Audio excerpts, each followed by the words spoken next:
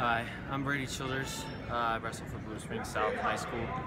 Um, during my match, I just had to focus on um, keep This is a MoPro video.